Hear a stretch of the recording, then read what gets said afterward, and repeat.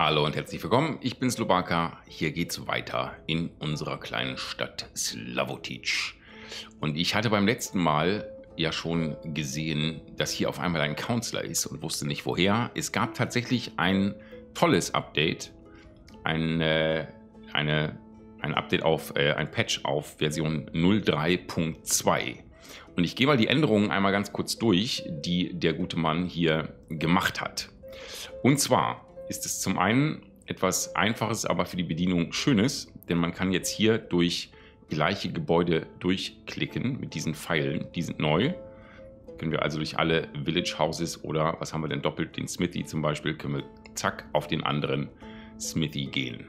Das ist erstmal schön. Ähm, dann gibt es noch eine Sache, die haben wir bisher nicht gemacht. In der Forestry, wenn wir eine äh, Zone haben, wo Bäume gepflanzt werden, dann kann man da jetzt einstellen, ob die dann auch trotzdem abgeholzt werden sollen oder ob sie beschützt werden sollen. Und die größte Änderung und wirklich tolle Änderung ist dieser Counselor. Wenn man den nämlich hat, dann kann man hier Manage Seasonal Hiring anmachen und dann haben wir diese großartige Option, nämlich, ups, tada, man kann jetzt einstellen in, ich glaube sogar allen Gebäuden, wann im Jahr die Leute eingestellt werden sollen und wie viele. Also wir können jetzt also einstellen, ja, während der Saison, wenn also äh, gepflanzt wird und geerntet wird, dann hätten wir gerne fünf und außerhalb der Saison soll dann nur noch einer arbeiten. Und dann können wir hier einstellen, wann ist denn die Saison? Da würde ich mal sagen, ab März fangen die, glaube ich, an, das Zeug auszusäen. Kann man jetzt auch noch mal gucken in der nächsten Runde, ob die dann zwei Monate aussehen und dann da eigentlich nur so rumsitzen, bis sie dann wieder ernten. Aber ich würde jetzt erstmal so die vier Monate mal rausmachen. Lassen wir es mal bei den dreien, die es waren. Aber dass wir jetzt schon mal hier auf jeden Fall einstellen, ja, so soll es im Januar oder November bis Februar, äh, November bis März sozusagen, ähm, sollen hier nur eine, soll hier nur eine Person arbeiten. Das können wir in einer anderen Farm auch mal machen. Das wird jetzt noch keine Änderung haben, denn wir haben jetzt März. Aber das ist auf jeden Fall cool. Und das können wir dann langsam schön verbessern über die Zeit, in der wir rausfinden, von wann bis wann das alles funktioniert. Was mir jetzt noch am ehesten nochmal einfällt, ist, und gut, dass ich da draufklicke, unsere Fischerhütte die soll auch gerne wieder arbeiten und auch der soll wieder arbeiten, denn hier ist schon ein, ein äh, Bötchen kaputt. Es ist März, die können schon lange wieder fischen. Haben wir beim letzten Mal nicht drauf geachtet. Blöd, blöd, blöd. Aber auch für die würde ich sagen, ja gut, wann schmilzt es? Es ist gerade erst geschmolzen, ne? Ist das dann im Februar schon? Naja, aber ich würde mal davon ausgehen, dass es ähnlich ist wie da. Off-Season braucht hier gar keiner arbeiten und On-Season drei Leute. So, soweit dazu. Ich lasse schon mal wieder weiterlaufen. Äh, schau nochmal auf den Messenger. Wir haben ja jetzt immerhin rausgefunden, dass wir das Öl in unser Lagerhaus bringen müssen. Also jetzt wissen wir auch, wie wir exportieren. Das sollte alles gut funktionieren. Und Weizen, haben wir den jetzt schon verkauft? Nee. Haben wir denn noch Weizen? Wir haben doch noch Weizen genug. Hatten wir das nicht gesagt? 500 hier drin, 500 noch hier drin. 500 noch hier drin. Ich glaube, wir haben schon ein bisschen Weizen verkauft, ne? Aber warum sollten wir jetzt nicht nochmal zumindest 200 oder sowas verkaufen, um erstmal zu sagen, wir wollen aus den Miesen raus. Der Weizen wird kommen, der neue Weizen, und ich sehe momentan keine Gefahr für Hungersnöte und wir bauen ja auch noch eine neue Farm. Na gut, fürs nächste Jahr, aber trotzdem.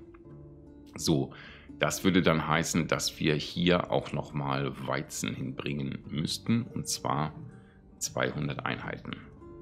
Da bringen wir jetzt auch mal nicht mehr hin als das. Und die sollten wir dann vielleicht auch wieder rausholen, wenn sie abgeholt wurden.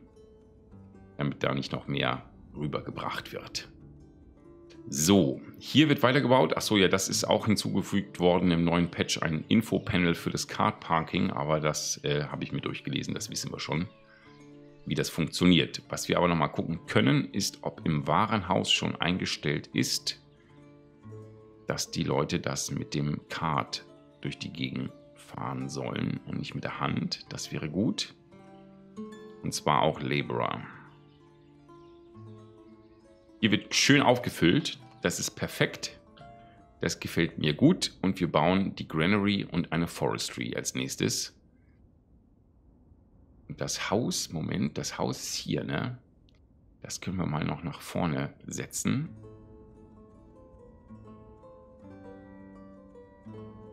Und dann geht das hier schön weiter. Da kommen neue Bewohner.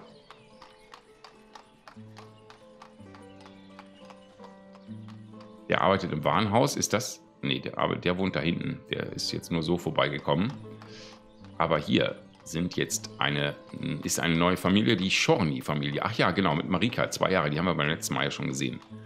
Wunderbar, die kommen mit äh, neuen Wealth hier an. Und ich hoffe, dass sie noch mit den teuren Preisen umgehen können. Sobald wir das ein bisschen verbessern können, dass die Leute nicht so viel bezahlen müssen, werden wir das auch tun.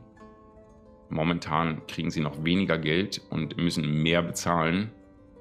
Und wir haben nach wie vor nur eine Familie, die wirklich arm ist.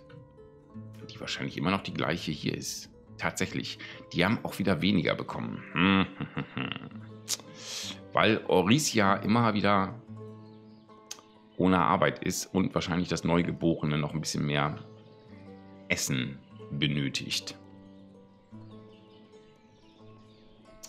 Ja, also das jetzt nur wegen dieser einen Familie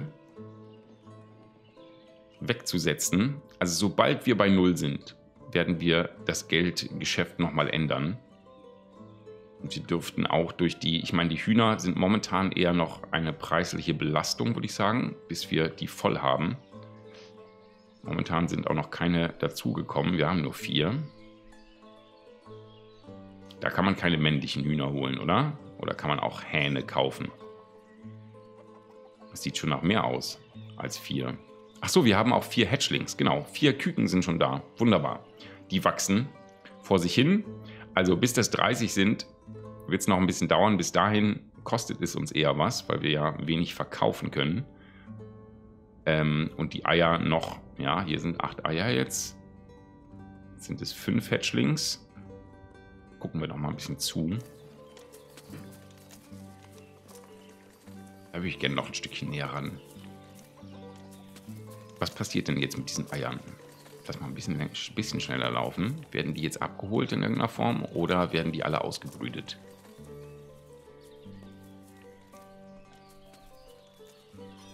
Pickel die Pick. Picken sie da rum.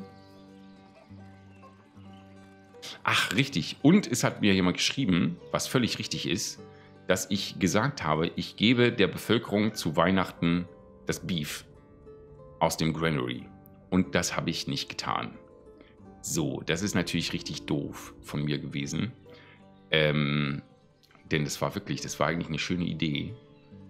Jetzt könnten wir natürlich sagen, es ist jetzt irgendwie Erntedankfest. Nee, Erntedankfest ist im August, ne? September, ich weiß es gar nicht.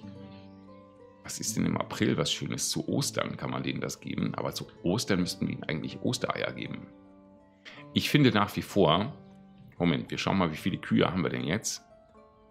Elf haben wir noch. Also in diesem Jahr gibt es noch keine neue Schlachtung. Insofern gibt es zu, und das, da muss ich jetzt wirklich dran denken, Dezember 27. Das Fleisch ist dann schon ein bisschen älter, ist vielleicht ein bisschen trocken dann, aber Fleisch ist Fleisch. Ähm, das wird sie trotzdem freuen. Also ein Weihnachten später gibt es das. Ähm, ja, das habe ich leider vergessen. So, jetzt aber nochmal, was ist mit den Eiern passiert? Sind die, die Eier noch da? Ja, die werden jetzt abgeholt. Dann werden sie wahrscheinlich doch verkauft. Wer bist du?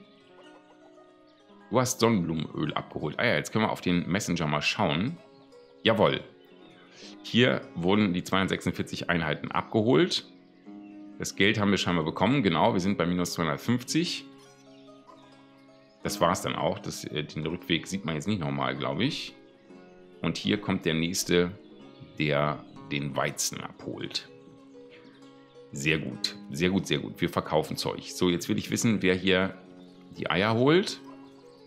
Supplying Resources. Olena, die arbeitet, die kommt von hier ganz darüber. Na gut, wir haben im Granary nicht die Eier eingestellt. Da ist auch kein Platz mehr. Getrockneten Fisch brauchen wir da nicht. Weizen, Fisch. Dann stellen wir doch hier nochmal die Eier ein. Dass vielleicht eher die Arbeiter von hier die Eier holen. Ähm, erstmal maximal 50, denn ich will ja, dass da Küken kommen. Aber jetzt scheint tatsächlich die Frau vom Marktstand, da, da hat sie sie abgeholt, ja. Olena Karbinwik, Nick, hat alle acht Eier abgeholt. Naja, vielleicht äh, probieren sie hier die Hatchlings und so nicht zu sehr aus der Balance zu kriegen. Und wenn wir die ganze Zeit acht Eier kriegen, ähm, dann ist das in Ordnung, wenn wir ein paar verkaufen. Ist doch wieder schön.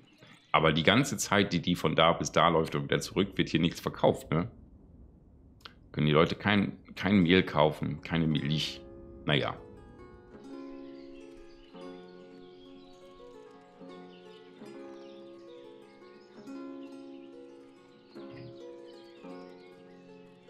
Es wird immer schöner, das kann ich nur sagen. Immer wieder im Frühling auch gerade. Da mag ich gar nicht schneller laufen lassen. Da kommt Olena mit den Eiern. Wo ist denn die Dame von hier? Die kauft, die kauft sich was zu essen vom anderen Marktstand. Aber du gehst damit nach Hause, oder? Was hast du denn dir gekauft? Buchweizen. Du hast dir also Buchweizen da hinten gekauft und du hast selber Buchweizen im Lager. Na, mit dir muss ich mal logistisch mal sprechen. Kauf doch deinen eigenen Buchweizen. Musst du da nicht ganz rüberlaufen. Und dass das hier der, der beliebteste Geheimweg der Stadt ist, ne? Das ist so wie bei modernen Taxifahrern, die dann immer sagen, ich weiß, wo es lang geht. Pass auf, ich fahre da durch, das ist viel kürzer. Na gut. Na gut, na gut, na gut. Wie ist der Bau? Langsam, aber stetig. Die Granary wird gebaut. Machen wir es noch ein bisschen schneller. März. Achso, halt. Ach, es dürfte doch schon so. Hier ist schon die Wiese, wird schon wieder bearbeitet. Warum wird hier nicht geflügt?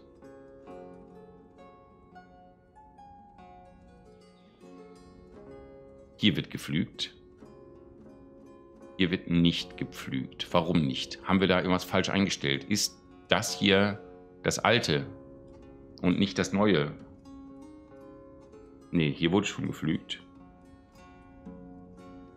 Warum ist denn dieses Feld nicht äh, best ordentlich bestellt? Ist es nicht aktiv? Doch. Da steht's doch.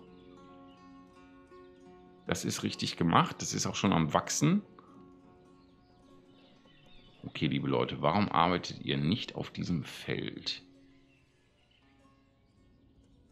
Dumm die dumm. Fällt mir jetzt nicht ein, warum das so sein sollte. Hier wurde auch schon gesät. Kommt ihr da nicht hin? Da ist doch der Eingang. Da kommt man schon hin. Lassen wir das nochmal ein bisschen schneller laufen.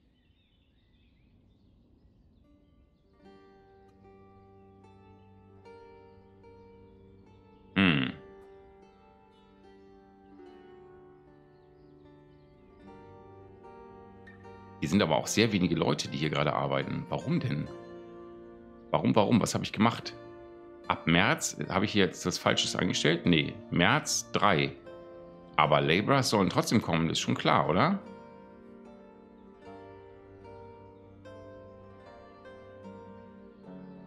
Machen wir mal 5. Da auch 5.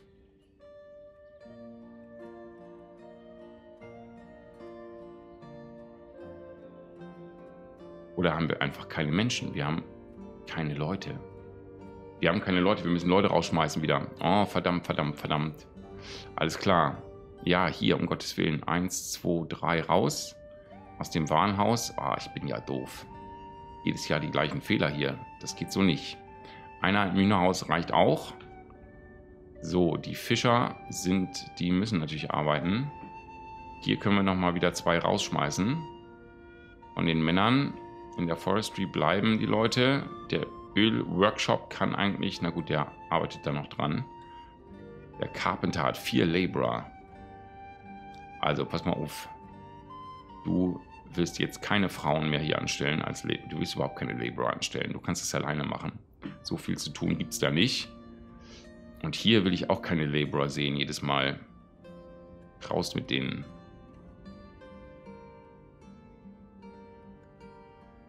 Kann ja auch nicht wahr sein. So, jetzt werden nämlich hier ordentlich Leute gebraucht. Ach Mann. So, ein Feld ist fertig geworden. Das wird das Abholzungsfeld sein. Ich hoffe, dass jetzt hier das noch ordentlich funktioniert. Jetzt haben die hier mit wenigen Leuten das nur gemacht. Und hier, ja, hier wird jetzt geflügt immerhin. Komisch. Na gut. Das Feld brauchen wir nicht. Ähm... Machen wir da noch ein Wohnhaus hin? Wir brauchen mehr Leute jetzt langsam, ne? Aber jetzt wäre es natürlich auch nicht schlecht. Was können wir denn noch bauen? Was können wir noch Schönes bauen? Also wir haben das Leder hier. Wir würden hier dann sehr bald Fleisch und Leder zusammenstellen. Daraus können wir natürlich auch Schuhe machen.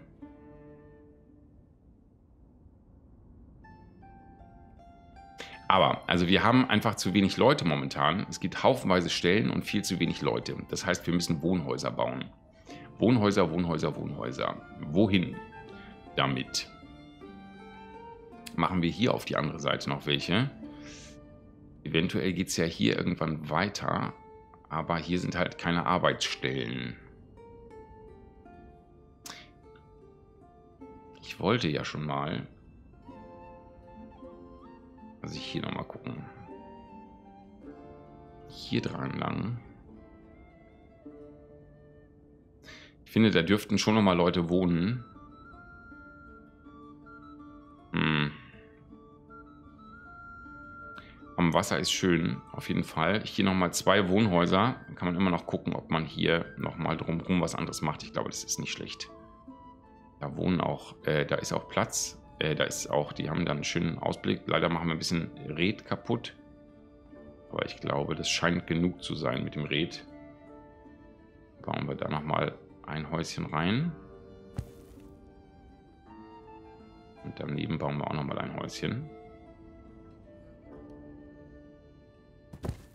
So, und die bauen wir auch dann schneller als den Rest. Ähm, und die Granary können wir auch eigentlich nach hinten stellen. Die sollen erstmal die Wohnhäuser bauen. Wir brauchen einfach mehr Leute. Wir brauchen mehr Menschen, denn wir haben jetzt ein bisschen Essen. Das ist nicht mehr das Problem. So, die Bankrunde. Wir können ja nochmal, also was wir, immer noch fünf Hatchlings. Die haben genug zu essen.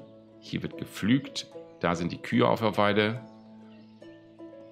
Hier wird auch gesät, allerdings, ja doch, jetzt sind einige da.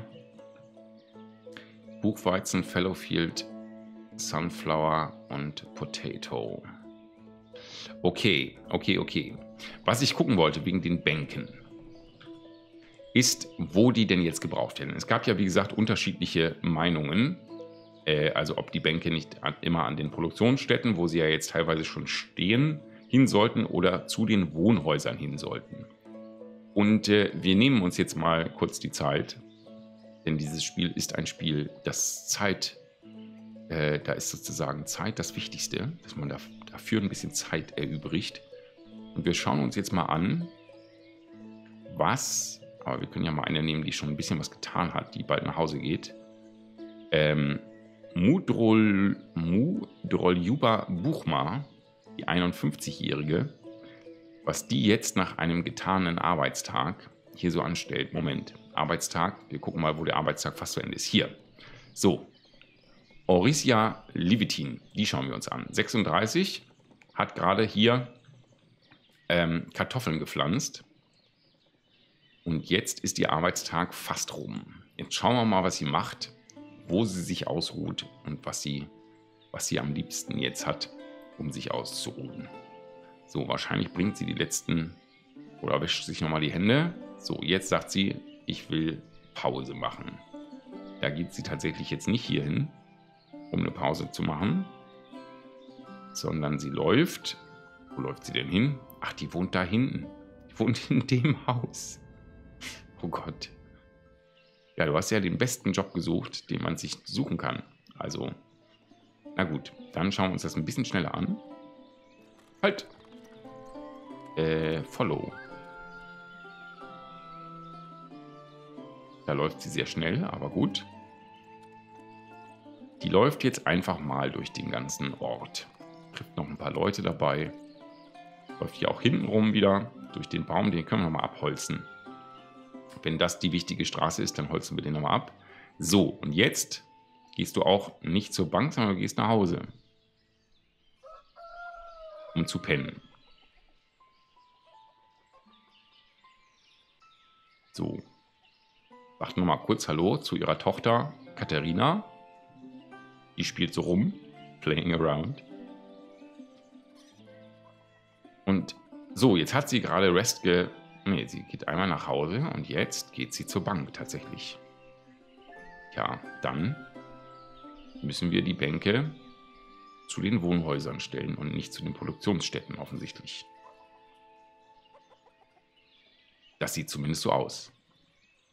Zack, sitzt Orisia da und quatscht mit Olena im Marktstall, äh, im Marktstand arbeitet. Da kommt auch gleich, der sieht, Mikaljo sieht gleich, ach, guck mal, guck mal, wer da sitzt, da muss ich gleich mal rübergehen. Hallöchen, sagt er, mit seiner grünen Hose zu den roten Damen. Olena und Orisia, die beiden O's. Er hat allerdings überhaupt keine Bildung. Und die haben beide, nee, Olena hat auch keine. Es wird wahrscheinlich eher was mit Olena, die ist allerdings 23 Jahre jünger als er. Das ist ein bisschen viel, finde ich. Das würde mit Orisia eher gehen, aber Orisia ist eben gebildeter als er. Deswegen wird sie ihn nicht nehmen, vielleicht. Wo wohnst denn du? Hier. Du hast ja auch schon eine Frau. Dolja, die ist 43. Naja. Ah und die beiden Eltern sind auch noch da. Vadim und Vitali. Hm? Die beiden Eltern? Achso, nee, das sind, ist der Papa von ihm und der Papa von ihr. Scheinbar. Ja, der ist auch arbeitslos. Sind wahrscheinlich beide arbeitslos, ne? Ne, der arbeitet auf der Farm. Vitali mit 67 noch auf der Farm am Malochen beim Weizenpflanzen sehen. Okay, also Bänke in die Nähe der Wohnhäuser. Bank, Bank, Bank, Bank. Dann schauen wir doch mal. Also hier ist eigentlich ja, der Weg ist in Ordnung, muss ich sagen. Aber dann schauen wir noch mal, dass wir hier vielleicht die Bänke hm. Aber jetzt so an die Straße da. Naja, ein paar können da schon hin.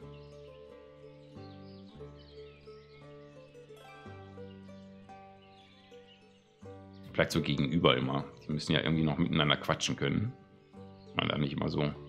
Ist ja nicht Corona jetzt da, dass wir die Bänke jetzt immer in Abstand packen müssen. So. Dann finde ich, hier passt es ja ganz gut. Hier können auch Bäume nochmal hin. Auf den Zwischenweg.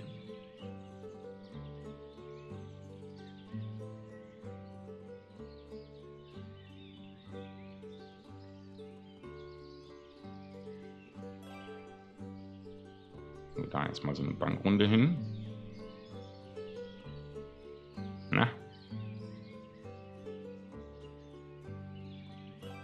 so ungefähr. So, dann ein Baum in die Mitte, wieder so ein Birkenbaum, so ein fetten. Ach, der ist aber echt riesig, ne? Na gut, die anderen haben auch solche Bäume, aber was haben wir noch? Ich will mehr Bäume haben. Ach ne, die Pinien, die gehören irgendwie in den Wald. Dann nehmen wir nochmal so einen Ash-Tree.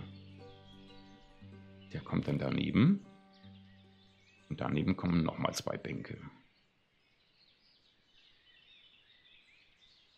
Na, hm, jetzt wieder vergessen, Shift zu drücken. So.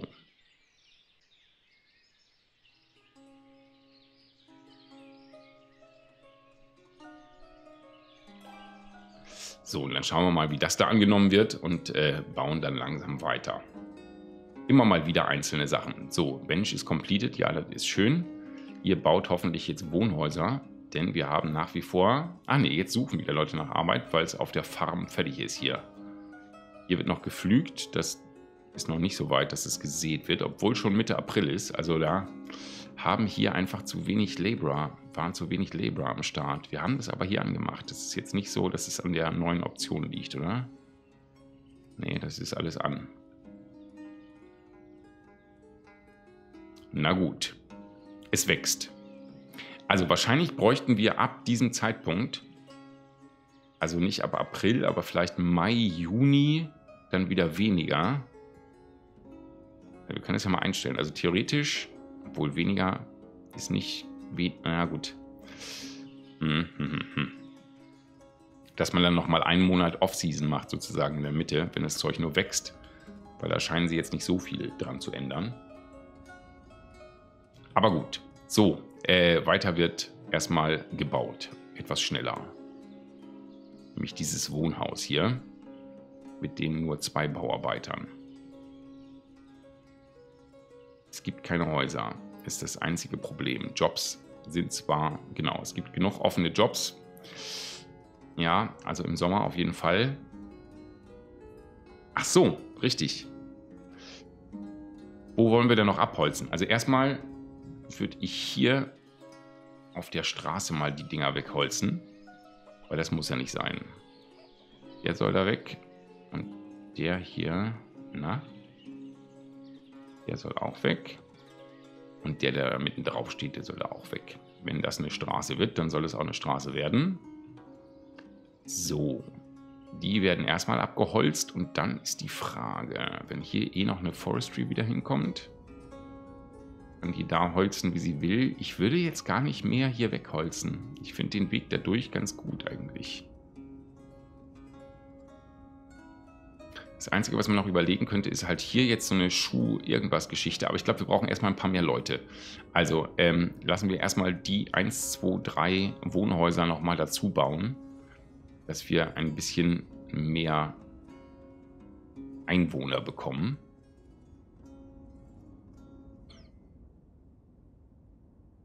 Dann müssen wir hier auch gucken, dass wir also, weil eine komplette Farm mit diesen ganzen Laborern können wir gar nicht noch unterhalten. Also dann müssen wir die wirklich abreißen sozusagen. Und die starten hier, damit wir äh, dann nicht in den völligen Wahnsinn kommen, weil ich glaube, es würde nicht ausreichen. Also zumindest nicht in einer guten Art und Weise. Sie scheinen ja auch mit weniger Leuten hier das immer ganz gut hinzukriegen mit dem Sehen. Aber schauen wir mal, wie die Ernte ausfällt in diesem Jahr. Das ist ja noch nicht gesagt, dass das gut läuft. Minus 230. Also ja, wie gesagt, die Leute dürfen ein bisschen noch, müssen noch ein bisschen äh, mehr bezahlen und weniger verdienen, aber es ist in Sicht, dass wir hier freundlicher sein können zu unseren Leuten. Schauen wir noch einmal auf die Geldgeschichte. Ach, jedes Mal. Immer noch. Immer noch das Gleiche und immer noch diese Familie aber 466. Sie ist wieder ein bisschen besser. Und sie arbeitet jetzt, sie hat einen festen Job. Das ist gut. Sie arbeitet jetzt in der Granary. Wahrscheinlich hier hinten in der Granary. Wer ist das? Orsia Laprova. Ach nee, die Granary ist noch gar nicht gebaut.